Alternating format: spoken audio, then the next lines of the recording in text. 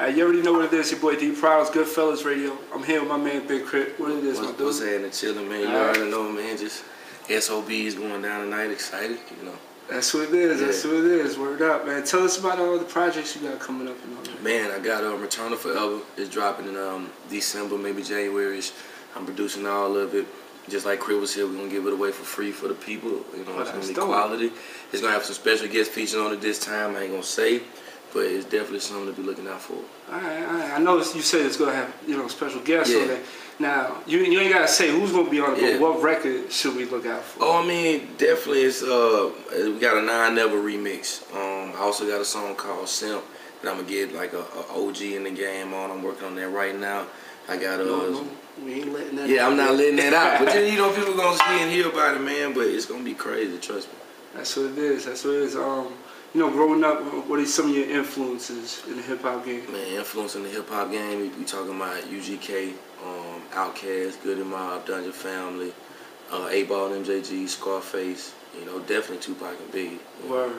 Um, and if you're talking about just soul music, um, what my parents played, definitely Willie Hutch, Curtis Mayfield, Alright. um, the Dramatics, Bobby Womack. The list kind of goes on, but I was really influenced by a lot of different, you know, genres and stuff, folk music, all kinds of stuff. Oh, all right. Yeah. What you mean, like rock? You know? Yeah, right. I mean, you know, um, believe it or not, man, we, we talking about people like, um, dang, I can't even think of it. well, definitely BB King, you know, like Bluegrass, you know what I'm saying? Oh, Bobby alright. Blue Bland, um, Little Beaver, you know, a lot of people don't know about him. Um, it's like uh, Muddy Water, Howlin' Wolf. It's, it's a gang of them that I just listen to their records and their 40s That's and dope. stuff That's like dope. I'm I'm a big fan of Outkast myself. Yeah. What was one of some of your favorite records back in the day? I give you one of my two favorite of all time. Well, it's three: Bombs Over Baghdad, The Art of Storytelling Part Two, and uh, Liberation. Nice. Liberation is an amazing song, and it's crazy because Big Boi is even singing on that record. So, Yeah, you yeah, know. this shit's dope, dope. Um, now going into your production, like um, your, your creativity side, how do you go into that? Like, where, where do you?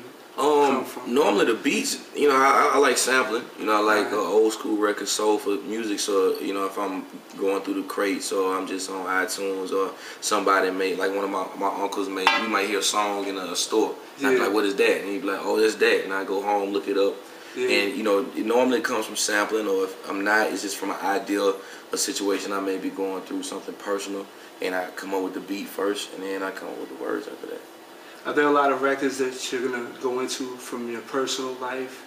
On this next one? And yeah, Oh yeah, definitely. I'm, a, I'm a, my, um, it's important that people know about my journey. You know, Okay. um, I rap about my life and what I really go through, and you know, and Lord willing, they relate.